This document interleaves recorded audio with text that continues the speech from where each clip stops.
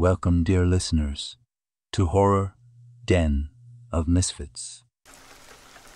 Story time. This happened back in the mid 80s. My friends and I, four in all, used to go hiking in the Cascades in Oregon quite a bit. While 99% of the hikers stick to the trails, we'd plan trips off the beaten path to discover areas few people had ever seen. We'd plan a trip, take a trail up to the general area, and then strike out towards a place we wanted to check out, sometimes a day or two out depending on how rough the terrain was. Our last trip started out normally enough. We'd made it to our launch point, spent the night, had breakfast the following day, and had broken out our Forest Service topographical maps to make our plans. This time around we hadn't decided on a destination, and were considering our options. That's the last thing we remember for nearly 24 hours. We woke up the next day, still in our clothes from the previous day, in our tents. We didn't even know a day had passed until one of my friends checked his watch and noticed that the date wasn't right, which I confirmed with my own watch yes. Even back then there were watches that kept the date. One moment we were looking over maps to see where we wanted to go. The next we woke up in our tents, all of us feeling like we were hungover. The thing is, while my friends swore they didn't remember anything, I did, if only a little. What I remember is that we were doing some hard hiking in the mountains when we heard children's voices, the sort of noise you hear at a playground. All of us were, what the effing, thinking that we'd really screwed up in our navigational skills in a way that boggled the mind, and we headed towards the noise to see just how the hell we'd gotten so far off track, and where on God's green earth we actually were. We broke out of the tree line into a clear area, where there were a number of low, squat buildings, the sort that remind you of what the U.S. Army builds spare, utilitarian, ugly, green. Surrounding the buildings, I assume all the way around, but I don't know, was a heavy duty chain link fence, not the normal sort, but the industrial strength kind.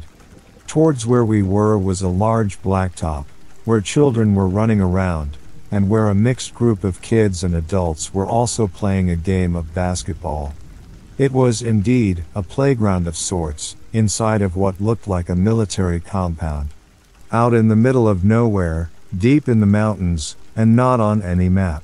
I remember one of the adults looking up, then everything gradually falling silent, as the entire group of adults and kids eventually noticed the four dumbstruck hikers on the other side of the fence and then nothing. That's it until I woke up in one of our two tents, the next day. As I said, my friends said they remembered nothing, and all they wanted to do after they realized they lost a day was get the F out of the mountains and back home. Me, I remembered, at least a little, and I was pissed because I figured we had stumbled onto something secret, and had been drugged and dumped back at our campsite for our efforts. I wanted to figure out where the hell we'd been hiking, go back, and see what there was to see, but the guys were having none of it. I tried a number of times to see if I could get any of the gang to go back up with me, this time with cameras, and try to figure out where we decided to hike, but the guys flat out refused any discussion of the matter, much less an actual attempt. Going by yourself into wild country is outright stupid, and I wasn't quite so pissed as to consider this a valid option, so I never went on my own. To this day, I have no idea what it is that we found, or why someone thought it necessary to drug us and dump us. I figured we weren't killed outright because four missing, experienced hikers would result in a newsworthy search and rescue op, especially since one of us was sort of famous, and just might make national news if they up and disappeared. I'm still pissed about it though, and would seriously like to dish out some payback to the shitstains who messed with us.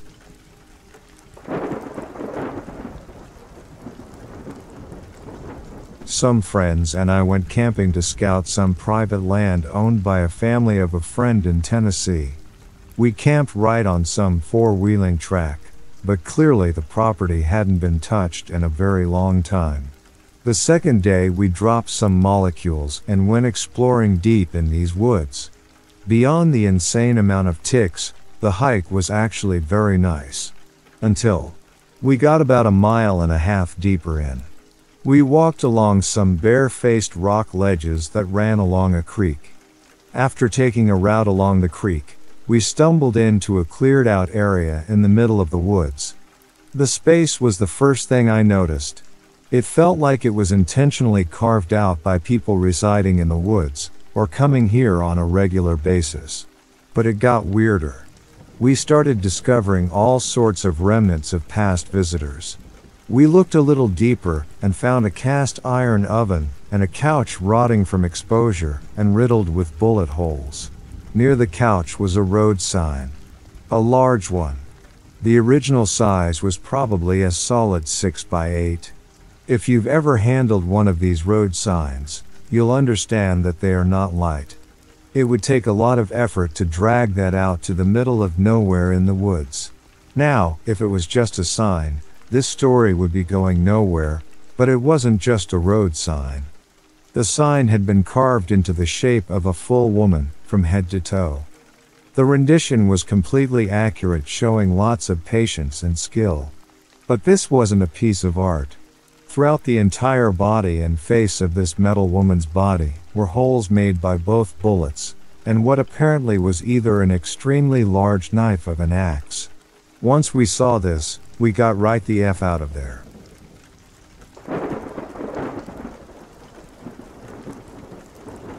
This must have been around 1992. I was camping and hiking with a friend in the Lake District, and we were making our way through Borrowdale along the Derwent. It's a popular spot of the country, there's always plenty of tourists out and about. I was following my friend, and we rounded a large boulder by the river, and he stopped. We did that comedy thing of me not paying attention and bumping into him. He indicates to me to shush, and I poke my head around to see what made him stop.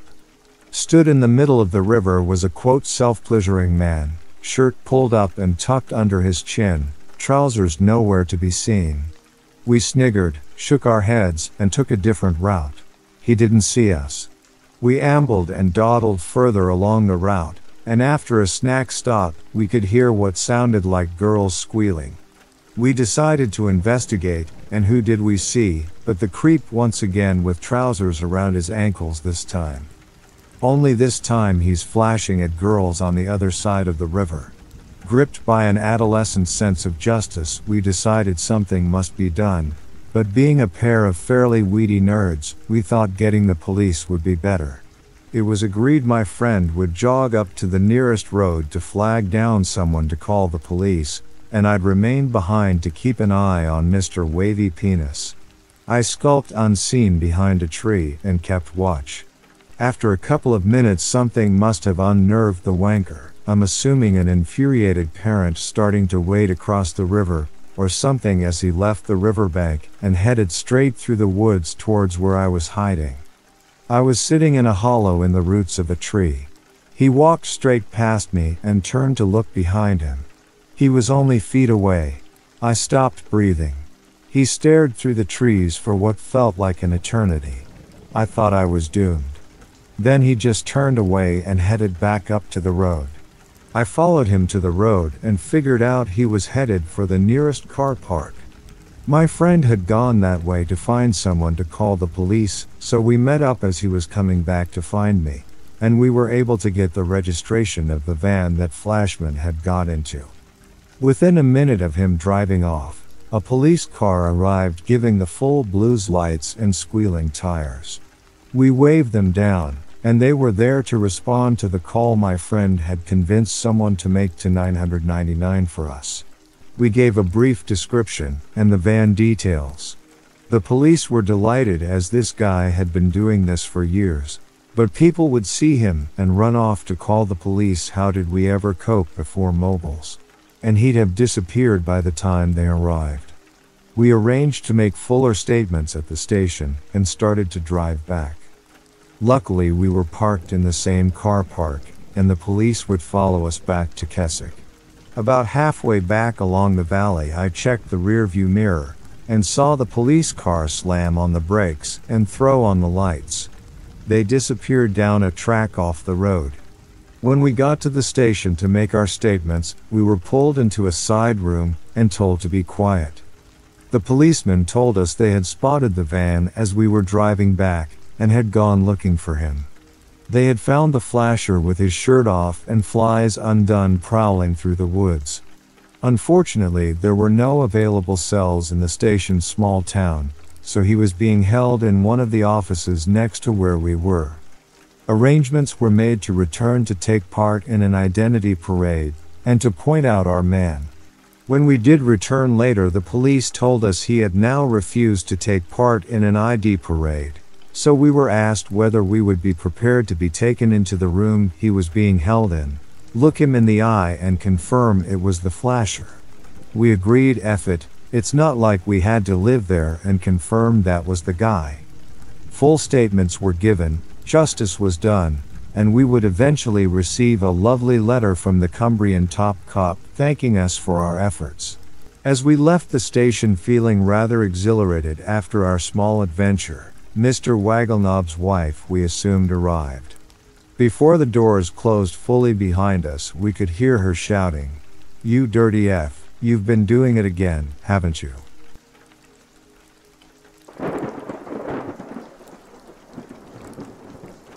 Hiking to one of my favorite spots in the Appalachian Mountains, I came across what appeared to be a recently built stone altar with a large wooden cross situated behind it. There was a string tied to the cross that went directly over the altar and tied to a tree across the way. Several other strings tied to trees, all of which had markings freshly carved into them. There was a pentagram of rocks in the middle of all of it. There's been lots of rumors throughout the years of satanic cults worshipping in the woods of this area. This was my first experience with it.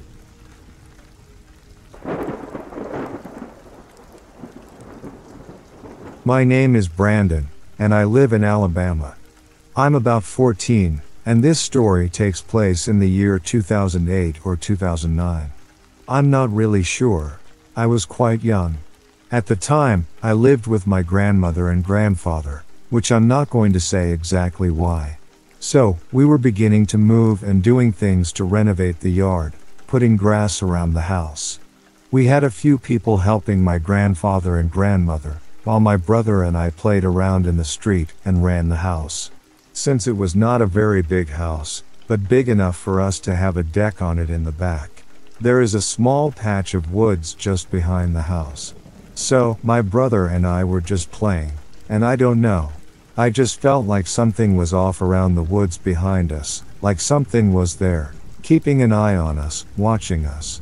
I would hear sounds of leaves and branches moving. Maybe it was the wind, maybe not.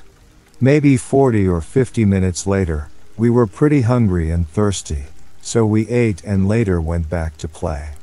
When we got back, we went to play, and about 10 minutes had passed. I totally forgot about the woods, and the sounds I had heard stopped. I stopped and just looked to see if I could see something, and I walked over there, not really close but close enough, and still nothing. It's like whatever was in there just stopped. So, I didn't want to think about it even more because I got paranoid easily and left and didn't go back over behind the house. The next day, there was only a little grass left to cover the house, and the sun was setting. I didn't remember to avoid the back of the house unless necessary. I was playing, walked behind, and stood. I had a feeling something else was there with me. I turned to my right and saw this big animal, or something like a werewolf, or some sort of upright dog with yellow eyes looking at me, lying on the ground. I stood there for a few seconds, and then ran to the front of the house, telling my grandparents what I just saw. Well, neither of them believed me and told me to keep playing. So, for the rest of the time, I just sat at the front of the house, thinking that's what it was. I still don't know what it was, or if it was there at all. And before I moved there, I swear I heard things outside in the woods, and sometimes I've seen things. Things first started really taking off around 2010. See, my best friend lives on the outskirts of a small nearby community, which is only about 10 miles away as the crow flies. There's a lot of heavy brush and forestation. It's all primarily secluded private property.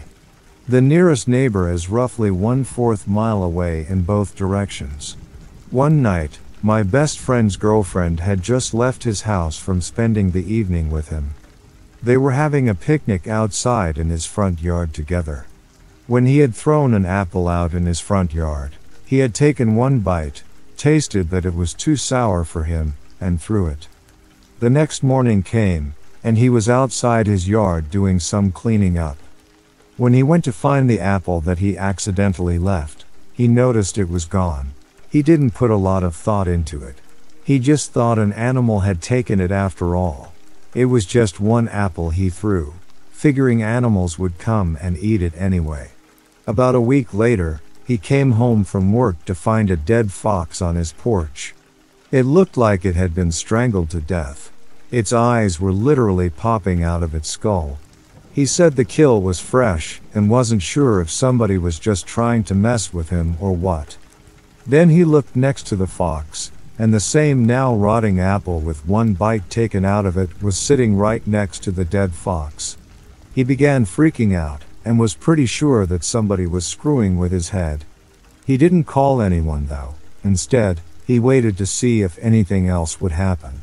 Time went on, and nothing else happened. These events that I just told you about happened in September before it started to get chilly. So, fast forward about six to nine months to the following spring, just as it was getting warm again. One evening, as he was having his girlfriend over for dinner in his house, his girlfriend started screaming that there was a huge, hairy man in the front lawn. He flew out and opened his door. There, standing about 50 feet away in the front yard, was this big black mass, as he described it. It was just standing there. His eyes tried to focus on it in the twilight of the evening, but his eyes pulled him to the object that this thing seemed to be holding in its hand. It looked to be a dead raccoon, a rather large one, he couldn't make out a face, definitive features, or anything else that would be specific to its description. But he said that he felt like it was staring right at him. This thing quickly darted behind a nearby tree once it realized he was looking at it. He said this creature seemed to be about 5 to 6 feet tall, if he had to guess, was really bulky and very shaggy and hairy. He knew instinctively that what he had seen outside of his house was a Sasquatch. Over the next couple of days, he thought more and more about it, and believed this creature was the thing that had left the dead fox on his porch, along with the apple with one bite taken out of it the previous fall. He hasn't experienced any other activity around his house, or anything like that since initially sighting this in his front yard.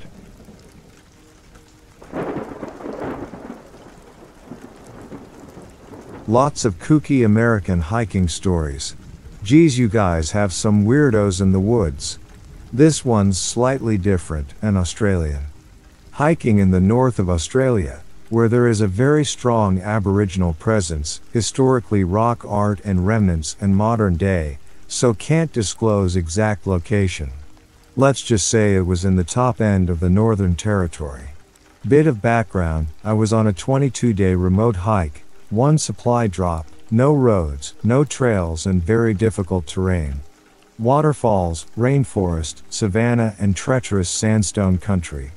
On around day 18, I was heading up a creek, and it had been raining all afternoon, so the creek was rapidly swelling. At this point, we were probably 150 kilometers to the nearest dirt road, much further than that to a settlement. The kind of country you really know very few white feet have ever trodden on, really humbling. Made camp on a nice sandy beach sandstone, remember? And then went for a swim and a scout around camp, mainly to see what rock art was in the area. I head up past my immediate waterfall swimming hole, and find a beautiful pool with a waterfall tumbling off a low undercut sandstone slab. Naturally, I swam across to climb under the slab and get behind the waterfall. The crevice under the slab is perhaps one meter high, just high enough to scramble and sit under. Water flows underneath as well, but mainly over the top of the slab and in front of me. I'm lying back with a friend looking out onto the pool and water cascade when I notice something on the ceiling. It's rock art, under a waterfall with flowing water.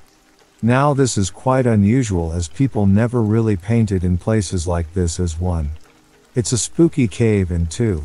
It's under a waterfall in an area that experiences that gets massive floods and likely to be damaged easily. Its location immediately makes me think it's something strange. And as I digest the artwork in front of me that increases. I'm looking at two odd skeletal things, long bony fingers, rib cages visible with outlines around them, each around one meter in diameter. I'm thinking there's something to do with sorcery or black magic art, and am being suitably creeped the F out, when it dawns on me what they probably are. These little bony figures are babies, the outline surrounding them is the amniotic sac. I'm looking at ancient paintings of dead babies or stillborns. Under a waterfall. In the unbelievably remote and spooky wilderness. I decide to quickly side with custom and get the F away from the obvious women's place. But not before I confirm by having quick look nearby. Indeed, to the side of the waterfall, in a more traditional place for rock art, I find birthing painting. Adult women and healthy children painted. I do have pictures of all this, but unfortunately I can't possibly post them due to cultural reasons sorry. I know that will piss some people off, but if you were from here you'd know how big a deal it is, and opens me up to all kinds of yucky legal stuff.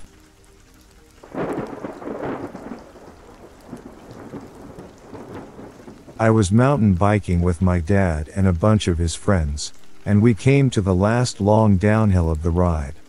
I always let them go first, because I am way faster. They go down, and I wait for 5 minutes, then go for it. I get 200 yards from the end of the trail, and they are all on one side of the trail stopped in a line.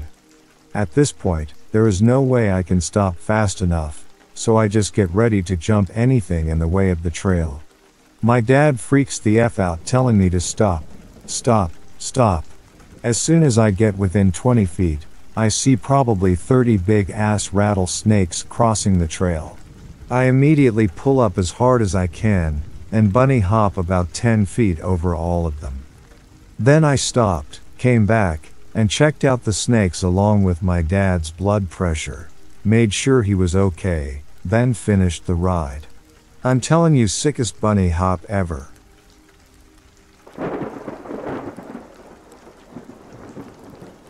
When I was 12, I contracted hepatitis A.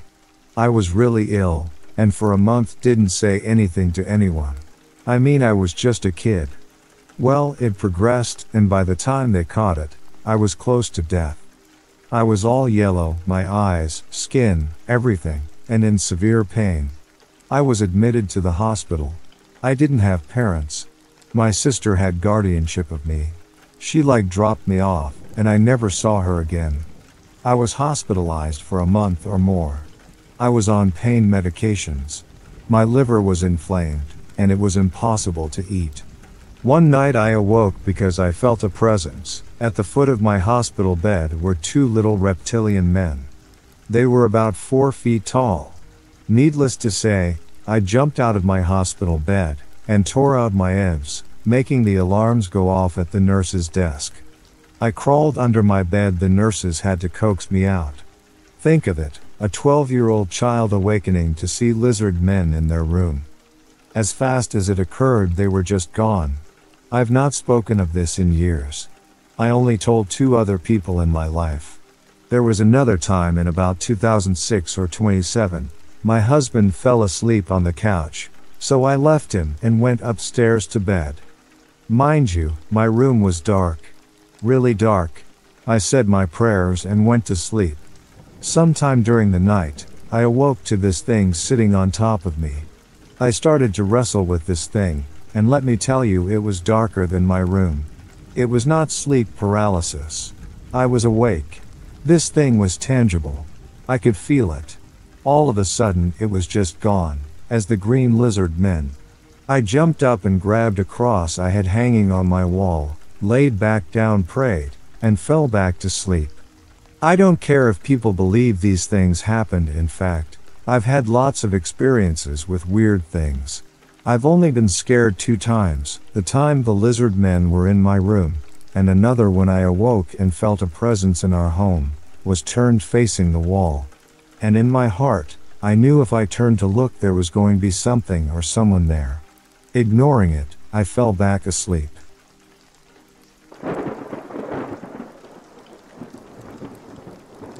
I am writing about a sighting I had on June 26, 2011, around 8 p.m. at Nelson Lake, Wisconsin. I was fishing from my canoe about 30 yards from the shore near Tanning Point when I noticed a whimpering sound. It was coming from the woods at the shoreline. It sounded like a dog whining, so I stopped what I was doing to watch the woods to see if anything appeared. After a few seconds, I saw a child scampering from the woods. I didn't get a very good look, but the child had very thick brown hair all over its body, and was very small human toddler size. It quickly showed itself, and then bolted back towards the woods. I sat there in shock. But within seconds I heard three distinct and angry grunts. I then saw a large ape-like head rise above the lower tree boughs. The eyes were barely visible, but I could tell that it didn't want me there. That was enough for me, so I started to paddle towards the north shore when all of a sudden I heard a loud plop and then splash from behind the boat. I turned around in time to see another rock heading in my direction. It was many yards from me, but I got the message. I was shaking from the time I witnessed these beasts up until a few hours later, when I was in my home office pondering what I had seen. I think it may have been Bigfoot. I googled Wisconsin Bigfoot and your blog came up. Was this a Bigfoot? I'm not an outdoorsman though I enjoy canoeing and fishing. Have there been other sightings in this area? Is there a danger? I appreciate your help. I am a state employee, so I would prefer my identity remain confidential. Thank you. L. The following incident was in the same area. According to the Sawyer County Sheriff's Department, two deputies responded to an alleged Bigfoot, or Sasquatch, sighting on Highway 63 just south of Seeley on the evening of Jan. 3. Since then, the sighting has been the topic of conversation in that small community with multiple reported sightings being called into the Sawyer County Record Office since. Chief Deputy Tim Zeigel confirmed that two deputies responded to the call, only to find footprints and hair at the site. But, unless Bigfoot was wearing boots, Zeigel laughed. I think it's pretty much a prank. A lady called in and said, You probably think I'm nuts, but I'm not. I have not been drinking. She reported seeing a Bigfoot or someone dressed in an ape suit on Highway 63 near Stark Road, Zeigel said. We sent a couple officers up there, and what they found was a set of foot tracks going from the road to the timberline and back to the road, and they also found a long, black hair. He affirmed that there have been no sightings since then. But the story takes a curious turn from there.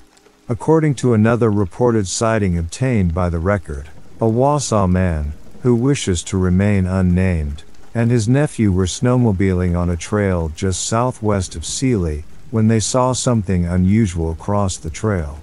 I don't know what I saw, but my nephew and I both saw something very real, he said. We only saw legs from the hips down as it was caught in the headlights of our snowmobiles.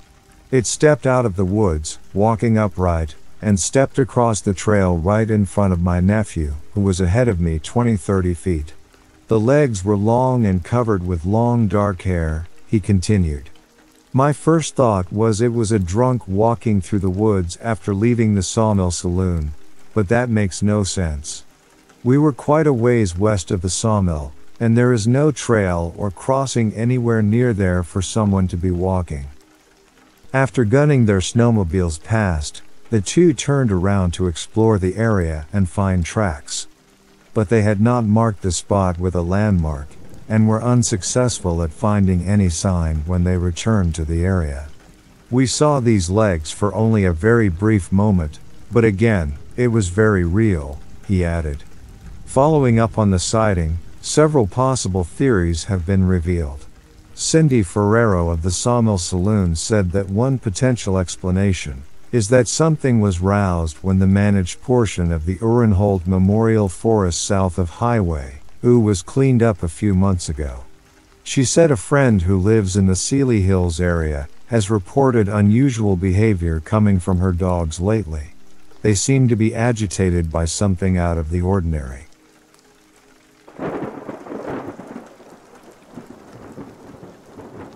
Back in 2013, I was bear hunting in Michigan's Upper Peninsula. We were in Ontonagon County, northwest of Bruce's Crossing. My hunting stand was just north of FR 730, about 3 miles from US 45. The trail I was on was evenly spaced between FR 735 and FR 736. It was a small creek called Scranton Creek. It was almost dry at the time. I took the trail north about two miles and found a good place to set up a ground blind. I was hunting with a handgun, a 500 Smith & Wesson with a factory red dot scope on it. I've hunted all my life with handguns and have bagged deer and tons of small game. I'm also an NRA, a certified instructor, and at the time was shooting competitively and teaching classes for concealed pistol licenses. I felt that I needed to give you some background on myself. I was totally confident in my ability to keep myself safe in the woods. I took up my stand just before daylight on the opening day of the first bear hunt. About an hour after the first light, I heard what I can only describe as a wood knock. It was north of me towards the Victoria Dam area. There was a series of knocks. First I heard three knocks evenly spaced, and then two knocks that sounded closer to me. About 15 minutes later, again, I heard three knocks that sounded like they came from the spot that I heard the two response knocks from, and again, I heard another two knocks. They were again closer to me. I thought to myself, what the hell is making those knocking sounds? Again, about 15 minutes later, I heard three knocks from where the two responses had come from and then right behind me was a fast four to five knocks, and everything in the woods went quiet. It was so quiet I could hear the bugs flying around. I sat there wondering what the hell was going on, and who or what knew that I was there. I was in a camo pop-up blind, and I knew that whatever knew I was there had not seen me. About 15 minutes later I heard a whirling sound approaching me and a crash next to the blind. I got up, went out, and found a tree branch about three feet long and three or four inches in diameter had landed about a foot away from my blind. Now, when I set up the blind, I was cautious to make sure there were no trees with branches that could fall on me. There was a clear path through the trees to the trail about six feet wide, but it was a good 100 feet from my blind of the trail. No man that I know of could have thrown that piece of wood that far and with the speed it had flown. I radioed my hunting partner and told him to come to my blind as soon as possible. When he got there, I told him what had happened, and we both agreed that I should let whatever wanted the area have it. So we packed everything out and I went to another stand. I had set up on FR 733 where the North Country Trail crossed it. I ended up taking a 400 plus pound male bear the next day. It weighed 389 pounds dressed at the way station at Bruce's Crossing. I always wonder what threw that tree branch and did all the wood knocking. The week I got back home, I was watching the BFRO guys on TV and found out that they were about 40 miles south of where I was hunting looking for a Bigfoot, that the natives up there had reported to them. So I contacted them and told them my story and was blown off by Cliff Barackman. I felt that I had something to share, and they just weren't interested. The next year, 2014, I took my girlfriend up there with me to show her around, and as we were coming back home, we were somewhere between Watersmeet and Iron River on US 2. As we drove past a blueberry bog that was on the north side of the road, at least a good 200 acres, we both saw a hair covered animal stand up in the middle of the bog. It was at least four feet taller than the brush, and the brush was four feet tall or more itself. I looked at her and all she said was, Keep going. I've hunted up there many times since, and have not had any more things happen. But sometimes you feel like you're being watched.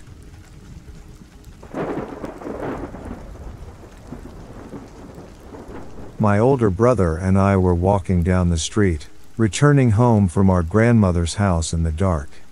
This was in LaPorte, Texas. There was a large, grassy lot next to our house, where our uncle lived in a mobile home at the back. It was a clear night, and my brother was teaching me some of the constellations as we walked. We saw a gold colored light come from the south and hover over us. I thought it was an airplane at first, but as it got closer, I realized it wasn't making any noise. I remember being afraid, but my brother was excited. He said, Oh wow, they are real. I grabbed his arm and tried to pull him to the house, panicking. He laughed and told me to calm down, that they wouldn't hurt us. He was my older brother, so I trusted him to protect me. I stood behind him as the light came to the ground and landed in front of my uncle's house. It was a large black pyramid shape that was missing the top point. It had a couple of windows on the side, about halfway up. After it stopped moving, a slot opened up on the side facing us. The light that was under the craft was a greenish blue, and it hovered off the ground a foot or two as the slot opened and a being came out. I guess unfolded out would be more accurate. The being looked almost human with a large, odd shaped head, almond eyes the color of absolute darkness, and a small slit below where the nose slits were. It was very tall compared to my brother. He was about 14 years old, so probably five and a half feet. The being was maybe six or seven feet. When it exited the craft, I heard a noise, like a soft murmuring of a bunch of voices. I was immediately soothed. I felt sleepy suddenly, but then the entity took my hand and my brother's hand. I don't remember it walking to us, but I remember how cold its hand was, and how rubbery it felt. I felt like I was floating, and it was taking us to its ship. We went inside and the slot closed behind us. Inside, it took us to a room where my brother was taken by another being, and I was led to a table. I screamed for my brother, but the being picked me up and sat me on the table, placed his fingers on my eyes, and I couldn't move or talk anymore. I was laid on the table and my clothes were taken off. I remember there being a soft pink light and three beings in the room with me. There was a straw like tool hanging above me, that one being put against my belly button. I remember searing pain below my belly button and smelling hot metal like copper. I tried to scream, but then the pain was gone. I looked toward one of the beings and saw my brother on the table near mine. He was looking at me with tears in his eyes. I could hear his voice, but his lips weren't moving. He told me he was sorry, he was wrong, and that he loved me. I felt warm whereas before I was so cold. The being stopped moving as my brother, and I talked without moving our lips. I would think about him, and then hear his voice responding to me. We'd never been able to do that before. After a few minutes, my brother looked away from me, and I felt him slip away, mentally, and then he screamed like he was being murdered. I thought they were killing him, but I couldn't see anything because one of the beings moved between us and started looking in my ears with a bright light. I remember the gray color of those three fingered hands, the way they seemed to me to be rubber straws the tips against my skin feeling terribly similar to a frog's flesh. They pried open my eyes when I tried to scrunch them shut, and put a jelly substance in them. Then they stuck something up in my nose that hurt so bad I passed out. When I woke up, the ship was gone. My brother was lying in the ditch a few feet from me, and I thought he was dead. I heard my mother calling for me and my brother, so I sat up and called back to her. She ran to me from our yard to where my brother was lying, and when she saw him, she screamed. She picked him up and grabbed my hand, carrying him into the house. She asked me what happened as she laid him on the couch, but as I started to answer, my nose started bleeding. My brother came to as my mother wiped a cold rag over his face, and I got a washcloth for my nose. She kept asking why we were out till three in the morning. My brother told her about the craft, and I did too, but she said she thought we were trying to make stuff up. She said it was obvious someone had beaten us up. We saw how bad our story upset her, so we agreed. It was the local bully that beat us both up. After my mother went to bed when she thought we were asleep, my brother came into my room, and we talked about it, agreeing to not talk about it again. The next day, he and I went to my uncle's yard. We looked for signs that something had been there, and we saw a square portion of the grass had been pressed down like a heavy weight had been on top of it. It's been 38 years now and only recently have my brother and I spoken of the incident. I still remember it like it was yesterday and so does he.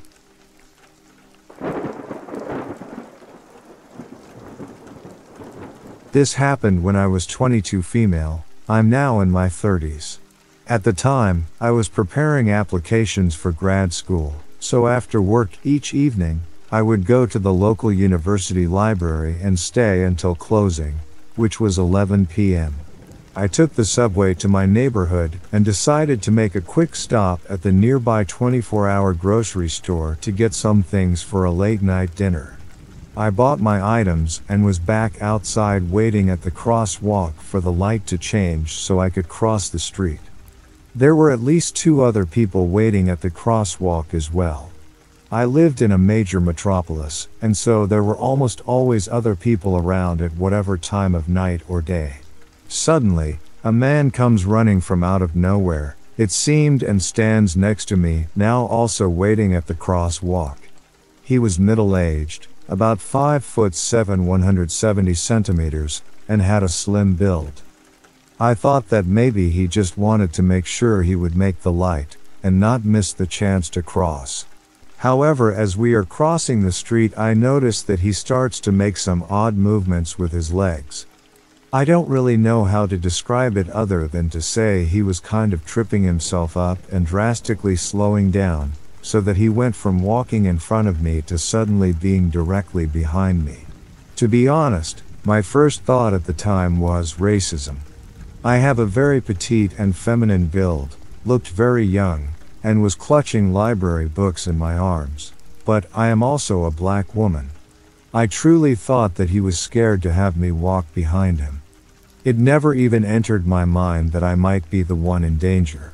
I simply noted his behavior, laughed it off, and then forgot about him. On my walk home, I passed a small convenience store that I frequented for inexpensive fresh produce that was also open 24 hours. I decided to make a quick stop and get a few more items for dinner. I was in the store for maybe five minutes and had truly forgotten about that man from the crosswalk. Except, when I exited the store, he was standing outside. I was so startled. It looked like he had been waiting for me. My heart started to pound in my chest, and I was going into survival mode. As soon as I passed him and continued walking home, he also started walking, following right behind me. I could hear his steps and sense him nearby. I needed to make sure that he was really following me so that I could plan my next move. I could see the entrance to the subway just ahead of me. I decided I would duck into the subway station to see if he followed me in, but, more importantly, to ask for help from the ticket collector. Unfortunately, when I went into the station, the ticket collector was not in the booth. The station was completely empty. No commuters either. I spontaneously decided to hide against a wall to the left, where I could not be seen from the street entrance. Thirty seconds later, the man walked into the station so nonchalantly, he was almost skipping, as he headed right to the turnstile, as if it was his plan all along to take the train.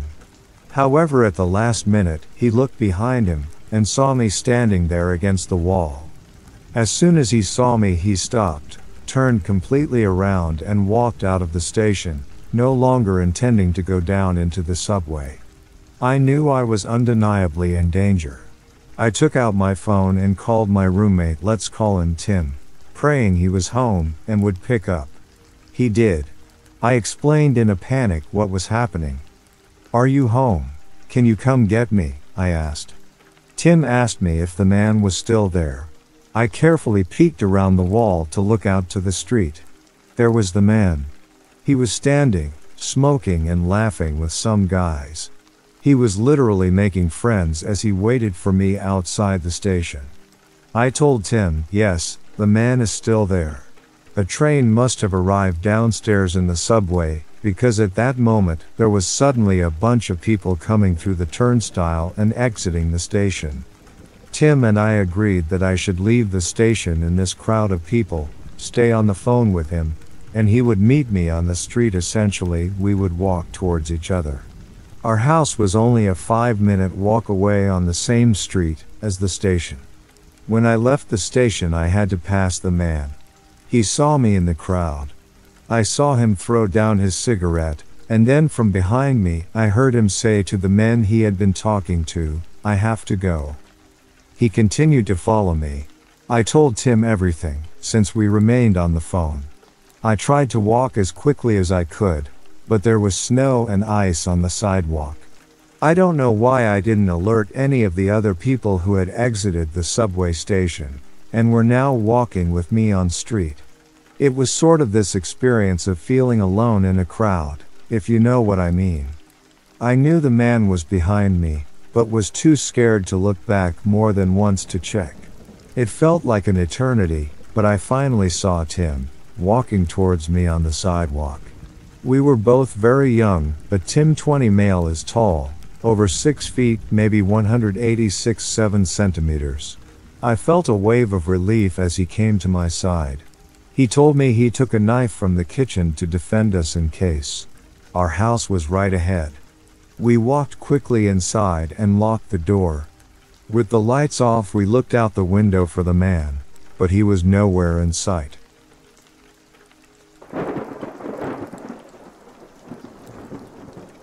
A few months ago, some piece of shit lowlife broke into my apartment while I was at work.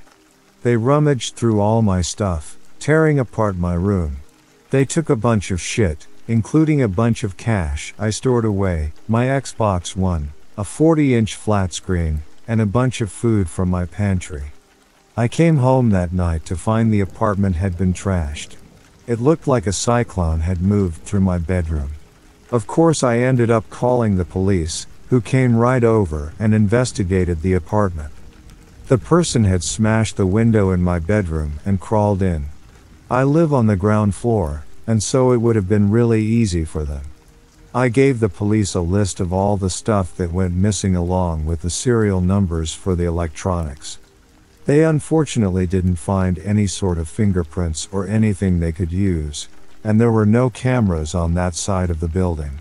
I called the rental agency for my building about the window, but they told me they couldn't send somebody until the next morning. That was probably the worst weekend of my entire life. The very thought that someone came into my space and decided they wanted my stuff sickens me. Thieves are the worst kinds of people. A couple months went by, and there was no word on any of the stuff that got stolen. I expected that much. Police in my city are useless most of the time. I had already gotten a new TV, and so all I needed was a new Xbox. I did some thinking and decided that I wanted to buy one secondhand, as I didn't want to spend another $400 on a new console. So I jumped on Craigslist and did some searching.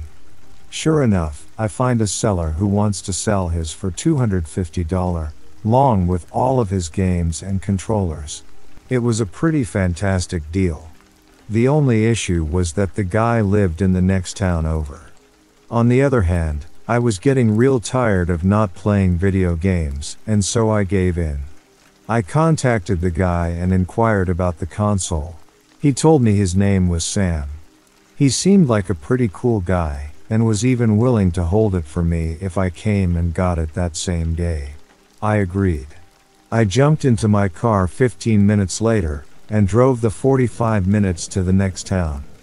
The town was very rural, and there were a lot of wooded areas. The house I was trying to find was way out there, next to some old train tracks. I pulled up to the house, which was off a dirt road. It was a real piece of shit, run down and overgrown. The old white paint was almost all chipped away, and the guy had a massive trash pile right in his front yard that was filled with a bunch of old junk, like TV sets and radios. I was unsure if I even had the right house, so I walked up to the door and hesitantly knocked. There was a short wait before I heard somebody shuffling on the other side of the door. It opened and revealed a very thin looking man with a buzz cut. I took notice that his clothes were filthy. He was wearing a tattered, flannel shirt with ripped blue jeans. You Sam? I asked him. Yeah, you here for the Xbox? I nodded nervously with an MHM. He flashed me a smile and invited me inside. I had a bad feeling, like something wasn't right with this guy. His house was a disaster. Almost every piece of furniture was filled with junk and garbage, and it looked like his kitchen hadn't been cleaned in months. I knew right off the bat that he was a hoarder. I was worried about being the awkward one, but this guy was about as awkward as one could get. When I think about it now, I feel like he was probably on the spectrum, but I couldn't be too sure. There was also the smell, like something in his house was rotting away. Like something dead. He lead to into the hallway on the first floor, and stopped at a door that looked much newer than the others in the house. It's right down here, he said. He pushed the door open to reveal stairs leading into a dimly lit basement. Alarms started going off in my head, and I knew that there was something seriously wrong. I stood at the top of the stairs, peering down. Sam stood behind me, almost as if he wanted to make sure I couldn't escape. Go on then. I said, stepping out of his way. You first. He replied. His awkward smile had gone to a cold gaze. When I looked towards the basement, the rotting smell had grown even stronger. When I listened closer, I could hear what sounded like millions of flies buzzing around down there. I turned and quickly pushed past him, sprinting down the hallway. He started to pursue, but then he stopped. I ran out the front door and back onto the dirt road, jumping into my car before speeding down the road as fast as my car could go. Before driving off, I caught the glimpse of his smiling face in the front window of the house. I made it home safe, where I realized that he had sent me a text message. The Craigslist ad disappeared after that, and I've since blocked his number. I thought about calling his town's local police, but after I calmed down, I realized there was probably not much they could do about it anyway. Days later, I started getting weird phone calls, usually hang ups every time. This persisted for several weeks before I saw Sam's mugshot on the local news. I guess he lured another unlucky buyer to his house, and when the buyer also refused to go down to the basement, Sam assaulted him with a knife. Luckily, the buyer managed to fight him off and escape. The police were called, and were shocked at what they found upon searching his house. This sick, twisted F had been killing local dogs and piling them in his basement, where he then did weird experiments on the bodies. The very thought of it made me sick to my stomach, knowing what potentially could have happened to me had I not ran. I don't know what happened to Sam, but I sure as hell hope that he's spending his days in a padded cell somewhere.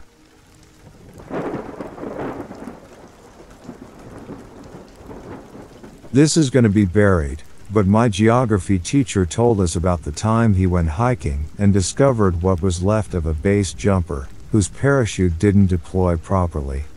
The only reason he even saw the body was when he realized that the place he'd sat down to eat lunch in was in fact stained red from finely spread blood splatter, and not just a cool looking rock.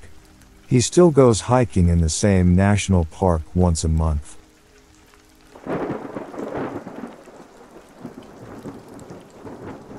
After my second year of college, I wanted to move into an apartment.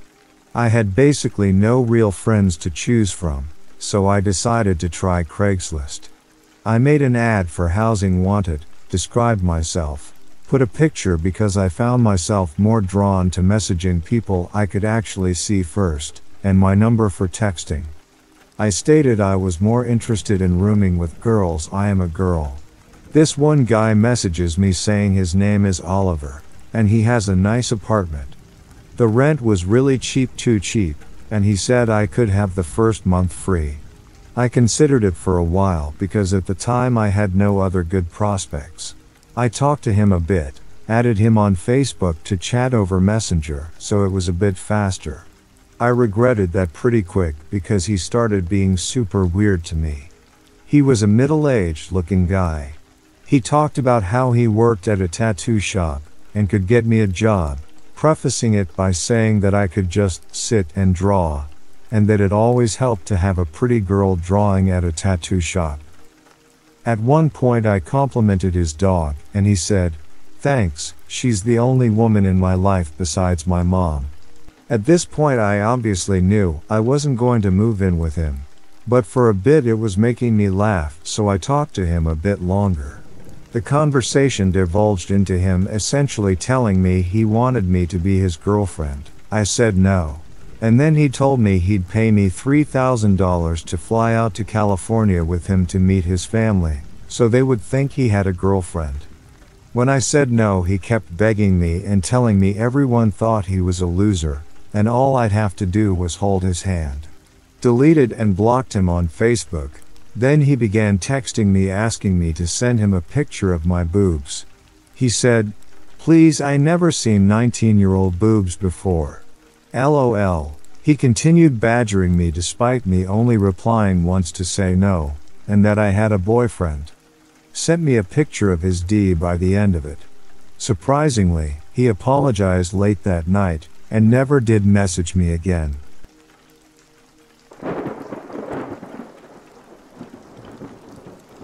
Just a freaky, freaky coincidence. Bought an orbital sander from a guy a few miles down. He was trying to move out of his place and cleaning out his garage.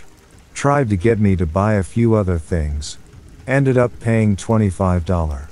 His two kids were playing in the driveway. As I'm walking away, his six year old daughter looks me square in the eye and says, Thank you. The next day, I see in the news that she has died of carbon monoxide poisoning in her sleep. Her piece of shit father was running a generator in the basement because he was behind on his bills. I was most likely one of the last people to ever talk to her. She haunted my dreams for quite a while. I have yet to use the sander. Should probably throw it away.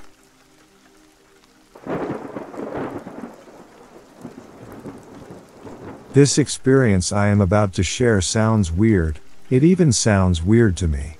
I can't explain it, and I don't know if anyone else has ever had similar experiences, or if not, maybe they should be warned. I'm a bit of a nerd. I love playing with computers, as in I taught myself how to code. I love doing puzzles, so using software and stuff was like figuring out a 3D puzzle. I'm also semi good at fixing computers. I can't really explain it, but I'm just good at knowing what to do to fix any glitches, etc. Okay, so now we have Web3, and I've been playing around to learn about that. I'm trying my best to keep this short and sweet, but that background info is pertinent. So, this is what happened. This was early last year in 2023 in spring, I believe in March or possibly earlier. Anyway, I had just woke up. I was just lounging, resting not in any hurry to get up. I was fully awake, when this round semi-globe, like a window, popped up in my wall, right above where the bed headboard is. On the other side of that wall is outside, the front of my house, it's not adjoining a room. Now in this little round window, it was an opening. I could see crystal clear. I could even hear everything. The inside was a church. I could see a piano, hear the music, and see the pews. Inside was my old pastor, whose church I no longer attend. That's a long story too. He had on a long cream minister robe with a burgundy wine colored collar that went around his neck and down the length of the front of the robe.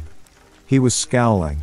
He had his arms crossed, and he was also saying to Lil Nas X the rap singer.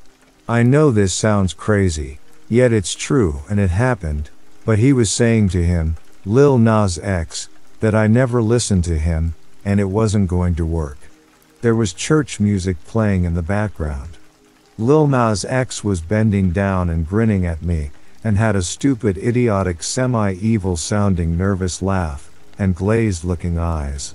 He was wearing a dark colored suit, white shirt, and dark tie. He was ready to help me if I had indicated I wanted to go with them. I never said a word, I wasn't afraid, I was just really checking them out, wondering what in the world was happening. I'm not a fan of Lil Nas X.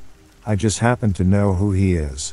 All I really know is he started out singing country music, and personally, I think he's foul, but anyway. So maybe after a minute, I never said a word. And when Lil Nas X saw I wasn't trying to hop in the whole thing just kind of poofed, and was gone. No hole in the wall, no residue, no anything, just gone. This was totally different, and I'll never forget it. Now, maybe a month or two later, here is the next really wow moment. I am an admitted nerd, so as I have been checking out Web3, there is a site called Spatial. I'm not trying to advertise for them, but so anyone will better understand. This tripped me out. It is a Web3 site, where you can make an avatar and can create spaces, VR, audio, or use avatars to interact or showcase art or NFTs. Well, they have the option to add portals.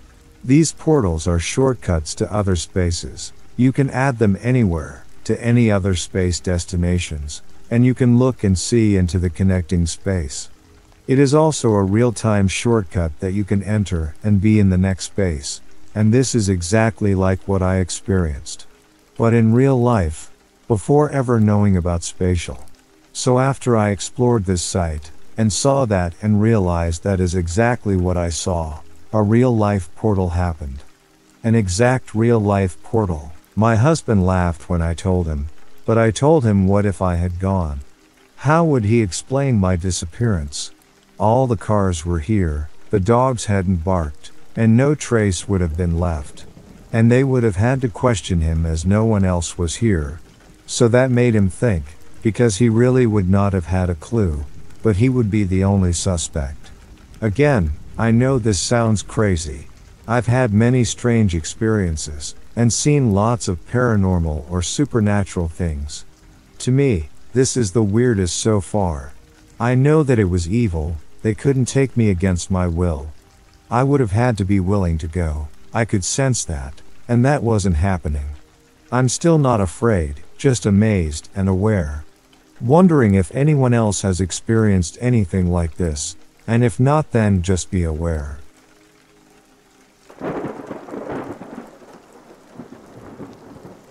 A few years ago, I moved with my family right before I started college. Unfortunately, it was kind of far from the university I had been accepted into, so I had been trying to find a place to rent close to my university.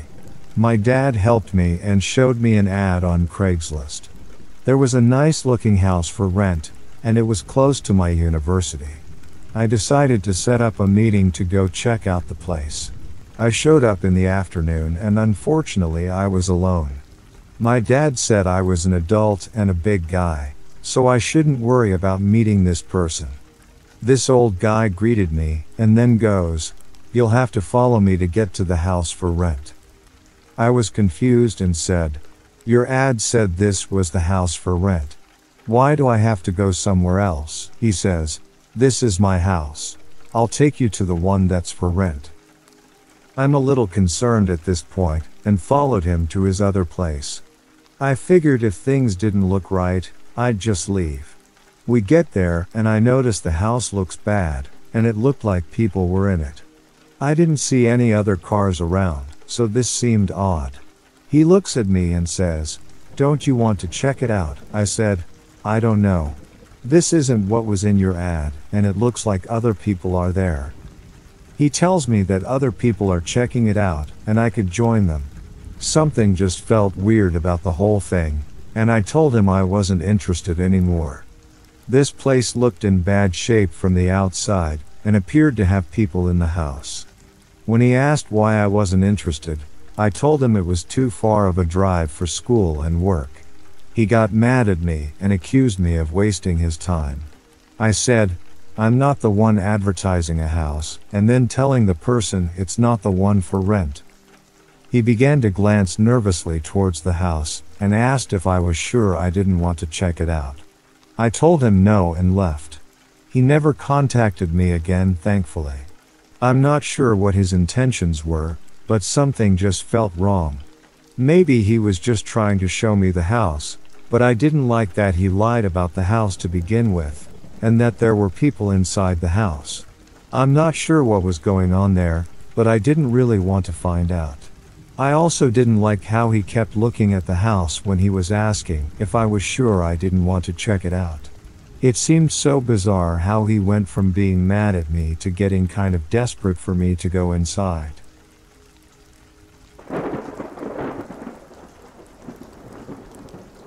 One night, about a year ago, I'm lying in my bed, and I don't even know that I'm sleeping, but I keep hearing the toilet flush. I keep hearing knocks on the door. I keep hearing voices, and then all of a sudden I say, Angels, angels, please help me. Next thing I know, this seven foot tall being comes through my ceiling and lands by the bed next to me, and he's completely golden. A seven foot tall muscular, very muscular, blonde hair, and blue eyes. He had armor on and a huge sword. Anyway, so I'm like looking at him and I'm like, oh my god, you're so beautiful. Well, a second or two later, my ears started ringing, and then also, the voice came into my head. I'd never heard somebody else's voice in my head, but it was a voice that wasn't coming through my ears. You know what I mean? It wasn't a thought, but it was in my head, and he was speaking this language I'd never heard before. I remember I was trying to tune into it in my mind, trying to hear it better, and it just got louder and louder, like deafening, and then I woke up. I just shook my head, and then I woke up, and it was crazy because I didn't even know that I was asleep. I've been having a lot of dreams like that when I wake up, and I'm able to leave my body and walk around my house. But I can't leave my house yet. What is going on with me, and what kind of language did I hear? Did the Archangel Michael appear before me? Thanks for watching. Be sure to subscribe for daily stories. We at Horror Den of Misfits really enjoy this, and your support would be appreciated.